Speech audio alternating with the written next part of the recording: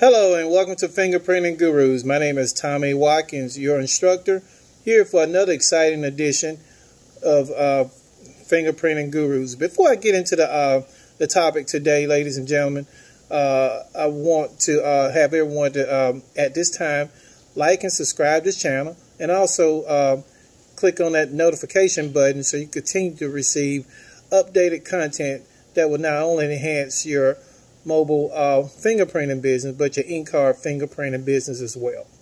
Uh, today's topic is why does fingerprint quality matter? Why does fingerprint quality matter?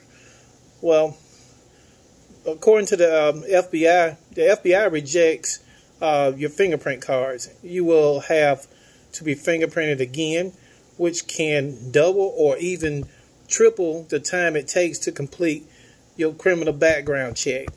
Um, approximately 2%, about 400 per year, of all fingerprints received um, by background check officials are rejected. About 75% of those uh, that have been rejected um, were at least submitted for a second time. This means that if they had followed these guidelines the first time, uh, they would have saved both time and money by only being fingerprinted one time. So basically,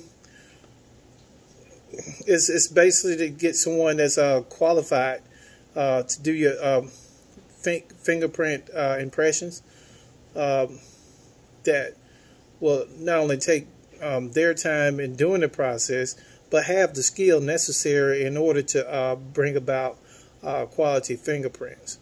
Um, and another thing is when you do set your appointments or have your clients uh, set their appointments, um, ensure that they're not uh, setting appointments where they will have to really have to be rushed off somewhere soon thereafter. They need to at least uh, allow at least, I'd say, three to four hours in between whatever it is they have to do next so the process won't feel rushed and therefore you are able to um, provide good quality service without having to uh, do a reprint of the um, client's uh, fingerprint impressions. Um, that's pretty much all for now.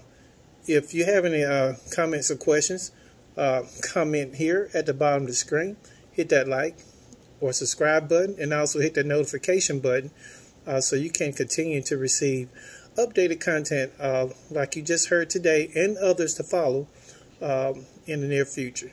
Until then, I'm Tommy Watkins, your instructor, Fingerprinting Gurus.